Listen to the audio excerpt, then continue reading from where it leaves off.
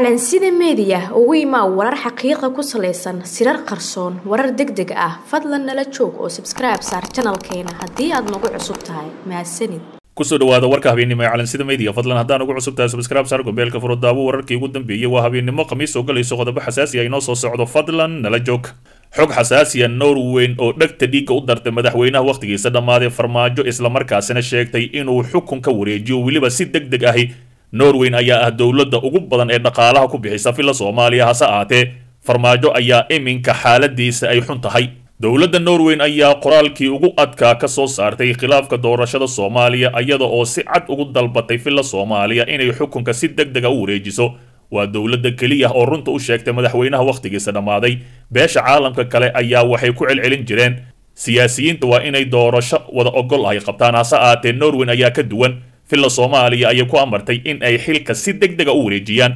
Norweyn ayaa tiri saaxiib dhow ahaan norweyn waxay si qoto dheer uga walaacsan tahay rabitaan la'aanta siyaasadeed ee dhammaan dhinacyada ee ah inay xal raadiyaan dowladda federaalk soomaaliya. Waxaa waajib ku ah inay xaqiijiso xukun wareejin deg deg ahi. Sidoo kale dhammaan jilayaasha siyaasadeed ayaa lagu yidhi qoraalka norweyn hase ahaatee filla soomaaliya waa inay si deg dega xilka u wareejisaa? Ayaa la yidhi dowladda norweyn waxay sheegtay in waddo guul leh oo horay loo qaado ay u baahan tahay hogaamiyaal dhiiranaan leh oo samayn kara tanaasul culus. Qoraalka ka soo baxay safaaradda norweyn ee muqdisho ee la soo dhigay barta twitterka ayaa ah kii ugu adkaa abid ee mid ka mid ahay dalalka beesha caalamka uu kula hadlo. Dowladda soomaaliya uu hogaamiyo madaxweynaha wakhtigiisa dhammaaday farmaajo ilaa iminka xilka isku dhejinayo xilli inta badan dalalka kale ee reer galbeedka lagu eedeeyey inaysan runta u sheegi karin madaxweynaha muddaxileedkiisa dhammaaday farmaajo. Qoraalkani ayaa waxaa sidoo kale sii cuslaynaya in norweyn ay tahay dalalka ugu badan ee lacagta ku bixiya filla soomaaliya islamarkaasina taageera dowladda federaalk soomaaliya. Musharaxiinta mucaaradka ayaa horey u sheegay in sababta xal looga gaari la-yahay khilaafka doorashada ay tahay iyada oo la la-yahay cid runta u sheegta farmaajaha macangaga ahi xilli ay sheegeen inay caddahay inuusan doorasho rabin oo uu doonayo inuu xukunka sii haysto. Si kastaba ha ahaatee dowladda norweyn ayaa noqotay dowladdii ugu horraysay oo runta u sheegtay farmaajaha ilaa iminka ku dhegan kursiga islamarkaasina uu doonayo in ummadda soomaaliyeed ay dhammaata mooyaane inuusan kursigaasi daynayn. Hase ahaatee lama oga waxa uu samayn doono dhinaca kale xog culus cabdirashiid janan oo gaaray beled xaawo lana kulmay taliyaha nabad sugidda iyo wararkii ugu dambeeyey ayaa ka soo baxaya. Wararka ka imaanaya gobolka godo ayaa sheegaya in wasiirkii hore ee amniga cabdirashiid janan uu gaaray magaalada beled xaawo halkaas oo kulamo kula yeeshay. Saraakiil ka tirsan sirdoonka qaranka nisa oo hogaamiyo taliyaha nabad sugidda fahad yaasiin guud ahaan ammaanka magaalada beled xaawo ayaa aad loo adkeeyey iyadoo halkaasi ay gaareen ciidamo badan oo galbinaya taliyaha nabad sugidda wararka ayaa sheegaya in kulankoodii dhammaystir u yahay heshiis muddooyinkan laga soo shaqaynayay waxaana la filayaa in cabdirashiid janan laga soo dejiyo magaalada muqdisho iyadoona diyaaradda qaadi laheyd ay taagan tahay garoonka diyaaradaha doolow sida wararka ay sheegayaan cabdirashiid janan ayaa la sheegay in ciidamo badan oo uu wato uu ku wareejinayo dowladda federaalk islamarkaasina lagu biirinayo ciidamada dowladda. Dowladda federaalk ayaa xabsiga dhigtay cabdirashiid janan bishii agoosta ee laba kun sagaal iyo tobankii hase yeeshee waxa uu ka baxsaday kowdii sebtembar laba kun iyo sagaal iyo tobankii. Hay'adda amnesty international oo u dooda xuquuqda aadanaha ayaa ku eedeysay cabdirashiid janan inuu mas'uul ka yahay dembiyo ka dhan ahay shuruucda caalamiga ahi islamarkaasina xasuuq u geystay iyo xadgudubyo halis ahi oo ka dhan ahay xuquuqda aadanaha hase ahaatee interboolka ee adduunka laga diiwaangeliyey. Farmaajo haddii uu maanta yidhaahda cafis ayaa tahay in adeerkay ayaa tahay axmed madoobe ila weerar. Farmaajo haddii uu xilka ku soo laaban waayo adduunka ayuu dembiile ka yahay.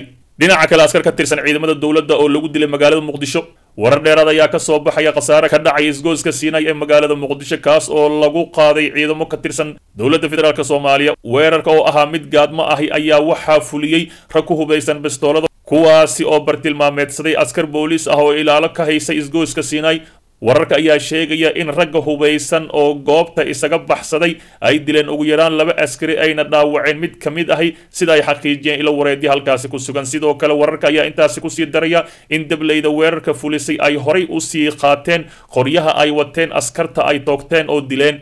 Goor dambe waxaa sidoo kale meesha gaaray ciidamo ka tirsan kuwa ammaanka dowladda soomaaliya oo howlgallo kooban halkaasi ka sameeyey islamarkaasina waddadaasi in muddo ay xiray ma aha markii ugu horeysay oo askarta ilaalisa waddooyinka sidaan oo kale loo dilo marar badan ayay dhacday. Qoryihiina laga qaatay ururka al-shabaab ayaana hore u sheegatay. Fadlan dib u daaw wararkeenii hore ee calansida mediya xog xasaasiya axmed madoobe oo xilka ka qaaday wasiir janan kadib markii heshiis hoose uu la sameeyey dowladda federaalk soomaaliya islamarkaasina uu doonayo inuu si weyn u dhabarjoobiyo axmed madoobe maadaama farmaajo asiga qaraabo yihiin. Ugu dambayntiina lagu heshiiyey in malaayiin dollar la siiyo ciidamadan uu ku soo wareejiyo. Sidaasi daraaddeed axmed madoobe ayaa xilki ka qaaday banaanbax weyn oo ka dhacay gobolka gado lagu taageerayo wasiir janan. Sidoo kale fahad yaasiin oo ku sii jeeda gobolkaasi gado sidau heshiiska ugu saxiixi lahaa. Ninkii dembiilaha ahaa ee shalay adduunka laga raadinayay in maanta la yidhaahdo waa qaran oo farmaajo ayuu qaraabo la yahay. Aan ku horreeyay madaxweynaha dowlad goboleedka jubbaland axmed maxamed islaam axmed madoobe ayaa xilka qaadis ku sameeyey wasiirka amniga maamulkaasi cabdirashiid xasan nuur janan kadib markii uu shaaciyey inuu wada hadal kula jiro dowladda federaalk soomaaliya islamarkaasina heshiis culus ay gaareen.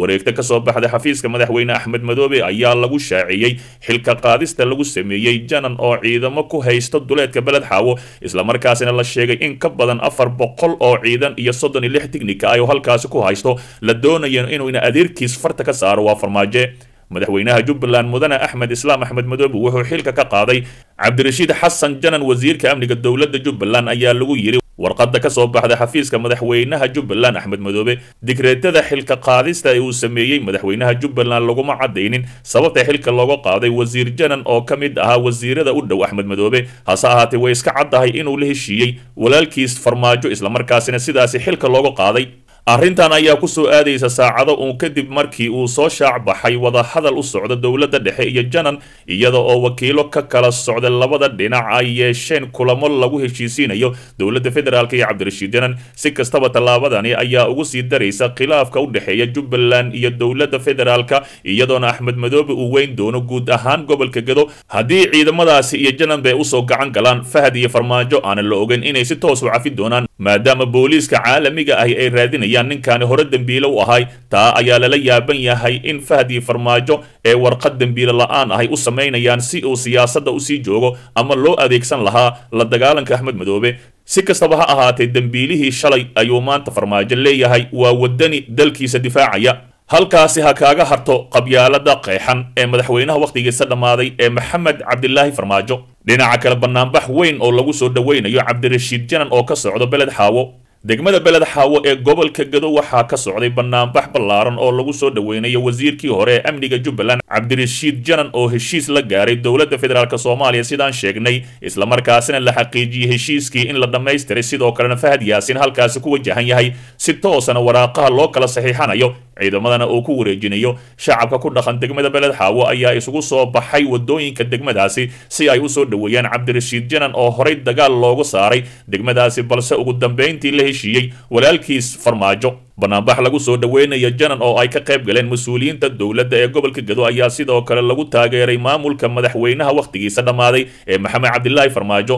Dad badan ayaa la yaabay muqdisho banaanbaxa waa xaaraan gobolkaasi gadana waa xalaal maadaama dadka banaanbaxa ay yihiin dhammaan madaxweynaha wakhtigiisa dhammaaday farmaajo qaraabadiisa dhow. Wasiirkii hore ee amniga jubbaland cabdirashiid janan ayaa lagu wadaa inuu soo gaaro degmada beled xaawo saacadaha soo socda oo marar badan isku dayay inuu dagaal ku qabsado balse ku guul daraystay waxa uuna markaan tagayaa isaga oo heshiis la ah dowladda uu la dagaalay oo dembiye waaweyn ka galay islamarkaasina cafis ee u fidinayso. Waa sida warka loo dhigaya haddii ay suuro gasho. Waxaa sidoo kale la filayaa in degmada beled xaawo gaaraan mas'uuliyiin ka tirsan dowladda federaalk soomaaliya kuwa oo dhammaystiraya heshiiskii hordhaca ahaa oo ay gaareen cabdirashiid janan iyo dowladda uu hogaamiyey farmaajo hase ahaatee wasiiro culculus oo ka tirsan dowladda federaalk soomaaliya ee xilgaarsiinta ayaa halkaasi ku sii wajahan shalay ayaan tibinay in halkaasi loo daabulay gawaaridan xabadda karin wasiiradaasi iyo waxaa loogu talagalay taliyaha nisa fahad yaasiin hase ahaatee lama oga sida farmaajo iyo fahad yaasiin nin shalay dembiile ahay adduunkoo idin laga raadinayay in ay maanta ku yidhaahdaan waraaqad cad waa waddani oo dalkiisa ayuu u dhimanayaa taa ayay malaayiin soomaali ah ilaa iminka la yaaban tahay. Adiga iminka dhegaysanaya warbixintane waad la yaabi doontaa. Maxayse kula tahay dhinaca kale taliya fahad yaasiin oo diyaaradii waday ka degtay garoonka doolow sida warbixinadii ugu dambeeyey iminkas ka soo baxayaan ilaa saddex diyaaradood ayaa siyaabo gooni gooni ahay waxay maanta ugu degeen magaalada doolow ee gobolka gado oo ilaa shalay gaadiid dagaal iyo ciidamo loo daabulayay. Diyaaradii saddexaad ee duhurnimadii gaartay halkaasi waxaa la socday sida aan ogaanay taliyaha nisa fahad yaasin xaaji daahir. Hadda waxaa la diyaarinayaa inay wafdiga dowladda u gudbaan dhinaca beled xaawo ka hor inta aysan u sii gudbin. Tuulada najax oo cabdirashiid janan ku sugan yahay. Gaadiidka aan xabadda karin bullet baruufka ayaa looga qaaday taliya fahad yaasin iyo xubnaha la socda degmada doolow oo ay u jihaysteen beled xaawo xogta ay heshay calansida meediya ayaa sheegaysa in la diyaariyey ciidamo badan oo amniga sugaya inta kulamada heshiiska lagu dhammaystirayo.